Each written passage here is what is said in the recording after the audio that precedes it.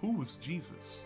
The Alpha and Omega, the beginning and the end, the Advocate, Almighty One, author and perfecter of our faith, our friend, the bread of life, the bridegroom, the chief cornerstone, the beloved Son of God, from a virgin he was born, the good shepherd, the great high priest, he's faithful and true, the holy servant, the deliverer who makes all things new, the lowly servant, the great I am, an indescribable gift, the light of the world, Emmanuel, is us, he's always with the judge, the king of kings, the lamb of God, the Lord of all, the lion of the tribe of Judah, the mediator for when we fall, the Messiah, the mighty one who sets us free, our hope, our peace, who died at Calvary. The prophet, the redeemer, the risen Lord, the rock who won't move, the savior for all. The Son of Man, the door, the way, the word, the true vine, the truth, the victorious one, the resurrection of life the wonderful counselor, the mighty God, the everlasting Father, the Prince of Peace, the good shepherd, our good, good Father, the greatest teacher, the GOAT. That's Jesus.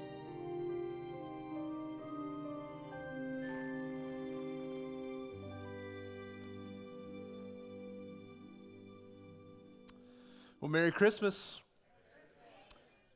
If I've never met you before, my name is Dustin Turner. I serve as the lead pastor of Vintage Church. And I uh, just want to share a brief message with you tonight about Jesus. And tonight we culminate everything that we've been doing this Advent season as we light this Advent candle that represents Christ.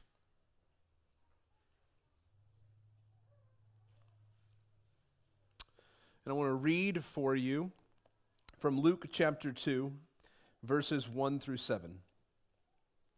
In those days, a decree went out from Caesar Augustus that all the world should be registered. This was the first registration when Quirinius was governor of Syria, and all went to be registered, each to his own town. And Joseph also went up from Galilee, from the town of Nazareth to Judea, to the city of David, which is called Bethlehem because he was of the house and lineage of David, to be registered with Mary, his betrothed, who was with child. And while they were there, the time came for her to give birth, and she gave birth to her firstborn son, and wrapped him in swaddling cloths, and laid him in a manger, because there was no place for them in the inn. I think one of the blessings of the season of Advent and what is Christmas is that it comes around every year. Right? There's something about this season and there's something about this day where we're able to celebrate this every single year. And at the same time, there is a danger for each one of us because we celebrate it each and every year. The truth of the message can become commonplace for us. At worst, maybe it can become even stale to us. And what I want to do for just a few moments tonight is I want you to think about this story anew. I want you to think about it with fresh eyes. I want you to think about it as if you're hearing it for the very first time. Maybe for some of you, you are. Maybe this is the first time you've really heard the story of Jesus or you've thought about what Jesus means to us coming to earth. Over the last several weeks in this series through Advent called A Very Vintage Christmas, what we've been doing is we've been looking at key figures, key uh, characters, key people in the story of Jesus. People like Mary and Joseph, the shepherds. Last week we looked at Simeon and Anna. And tonight we're culminating this whole thing by looking at Jesus. And in particular, I want to focus in on one lesson that I think Jesus teaches us. It's the lesson of humility. Jesus himself embodied humility. In Luke chapter 2, just in verse 7 alone, I want you to notice something that Luke tells us about Jesus. He says simply this in verse 7 She gave birth to her firstborn Son. Everybody say Son. Now, here's the crazy thing about the Christmas story sons are usually what? Human. God is not usually what? Human. Jesus, in coming to earth, embodied humility. He embodied humility by coming from heaven because he is God and it is in heaven where God dwells and exists. And he came to earth and he put on flesh. Just pause for a moment and think about that reality. Paul said it like this in Philippians chapter 2. He tells us to have this mind among ourselves, which is yours in Christ Jesus. And then he goes on to describe Jesus, who, though he was in the form of what? Or who? God. Did not count equality with God a thing to be grasped, but emptied himself by taking the form of what? A servant. By taking the form of, of a servant, being born in the likeness of men. Paul says a whole lot here in these three verses. Jesus emptied himself. What he means by that is all of the privilege and all of the honor that he had as God, he emptied. He said, Listen, I'm not going to uphold that. Instead, I'm going to become human. And in fact, listen to the way that Paul describes Jesus. He took the form of a servant. Is there not a humbler position than that of a servant? He took the form of a servant. He was born, just as Luke said, that Jesus was the firstborn son of Mary. And he was born in the likeness of men, meaning that when people saw him, when they touched him, when they talked with him, he was what? Human. He was man. Jesus is the Son of God incarnate. He is fully God and fully human. This is the story of the gospel. That God did not leave us in our sin and our brokenness and the evil that's in our world, but instead, He stepped into time. He stepped into history. He became human, not at the expense of His divinity, but He added His humanity to His divinity. Jesus, the divine Son of God, embodied humility by taking on humanity. But Jesus didn't just embody humility, Jesus modeled humility. Go back and look at the story in Luke chapter 2.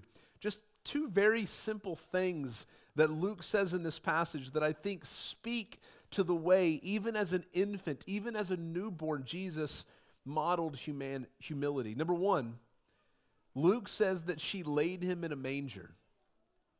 A manger, literally a feeding trough where farm animals fed out of. And I'll remind you that the story of Jesus is that Jesus is not just human, but also divine, also God. And this person who was God and King of the Jews modeled humility by not being placed on a throne, not being surrounded by the best of everything, but simply being laid in a manger. And Luke says all of this happened because there was no room for them in the inn.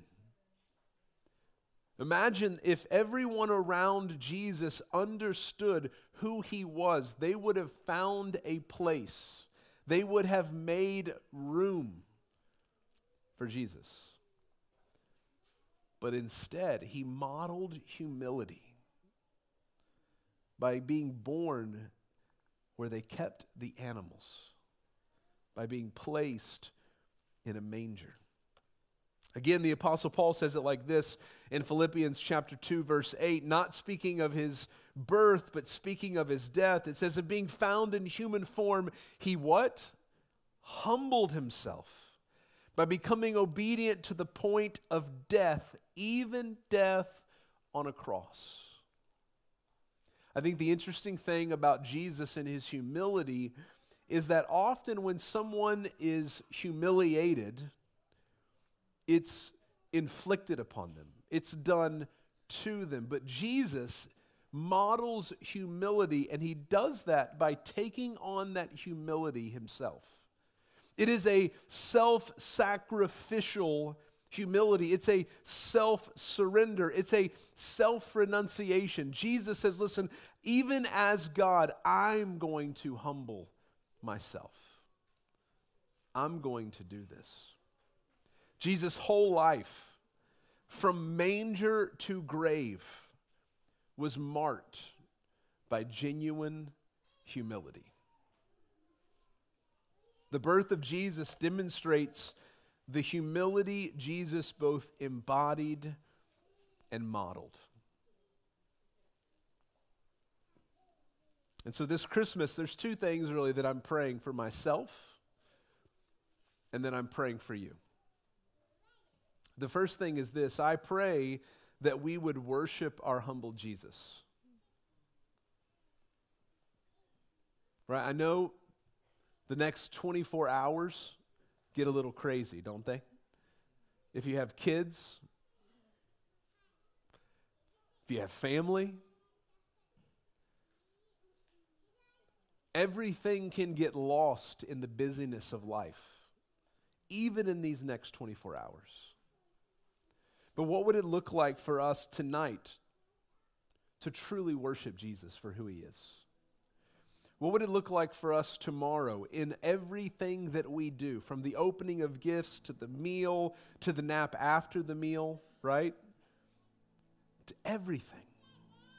To spend those moments worshiping Jesus for who he is.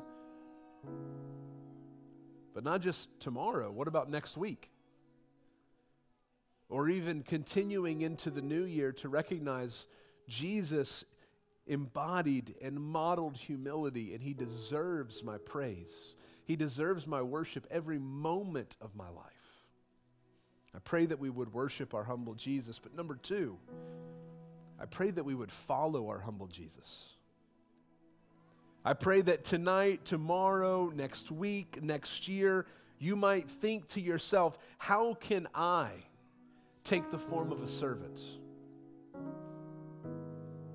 How can I self sacrificially humble myself for my life to not be about me, but for it to be about God and for it to be about others? Because that's what Jesus did. As we close our evening, worshiping Jesus. I pray that you'll reflect on those two things, that you would worship our humble Jesus, that you would follow our humble Jesus. And in this moment, as we light these candles, symbolizing, yes, the light of Christ, I pray that this light might be a symbol for you. It might be a reminder for you of the humble Christ we serve the humble Christ we follow, and that he deserves our worship, and that he deserves us to follow him.